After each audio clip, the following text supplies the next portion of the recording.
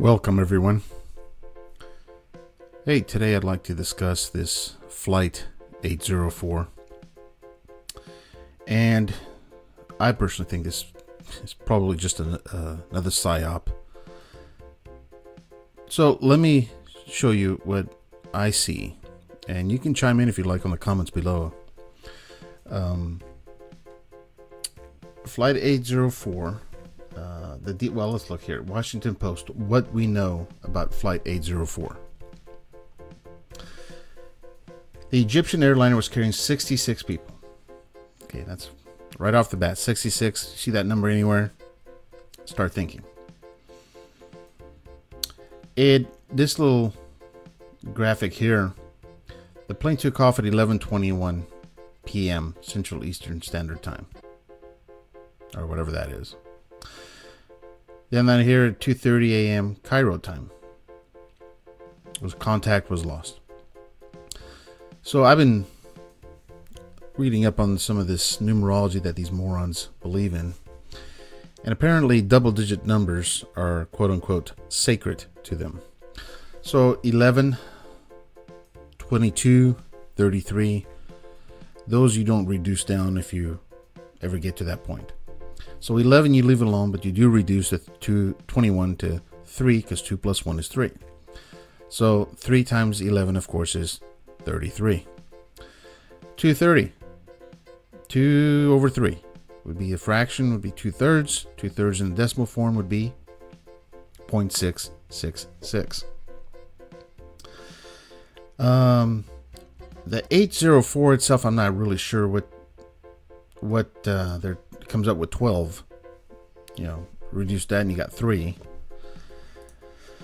Um, I don't know. Third World War? Who knows? I don't know. Anyway, uh, I really can't figure that one out. But 1109, 119, once again is very prominent. Uh, just look at my previous video, 119, 911.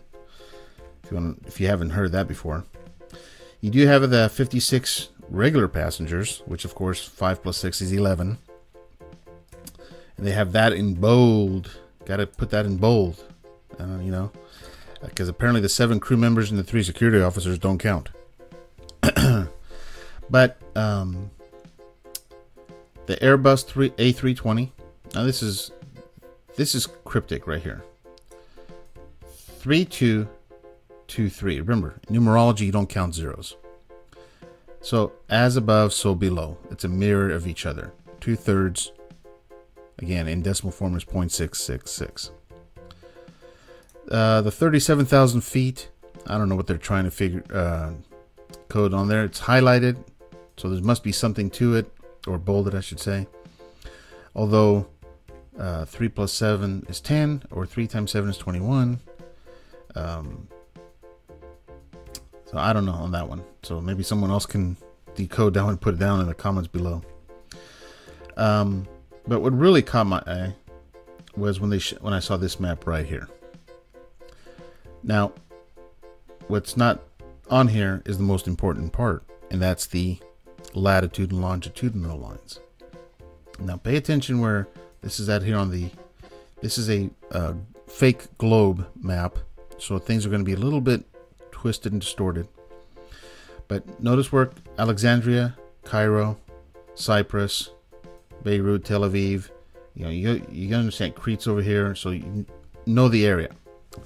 So if we look on the um, proverbial fake globe and we zoom in on that area, what latitude and longitudinal lines do you see? Here you have the latitude lines and the longitude lines. You've got the 33 degree mark for latitude and longitude, all in that general vicinity of where that plane supposedly crashed into the sea. 33 plus 33 equals 66. Uh, if we look at it on the flat Earth map, it looks even better. Or worse, depending on how you look at it. Notice the uh, going from the inside to the outside, you have the latitude line and the 33 degree mark, because here's the 30, Each one of these little squares, black and white, black and white, is 5 degrees of latitude. So this is the 35 degree mark here. This is the 40 degree mark here. So 33 would be right here, right by the E, just uh, southwest of Cyprus. And longitudinally, here's the 30 degree mark. There's the 45. So 33 would be right here, right along the line. And it puts us right there. So once again, it's just fakery. It's just a psyop. I mean, it's just psychological operation on, on everyone. Now, is there a hidden meaning behind it with the numbers? I mean, 11.9? I don't know. It could be. But that 11.9 keeps popping up everywhere. So, again, more bullshit to deal with. And uh, don't believe any of it. It apparently now, if there were people on that plane that died, may God have mercy on their souls. But right now, this is uh, stirring up to be just another psychological operation like everything else that's thrown our way. Anyway, that's it.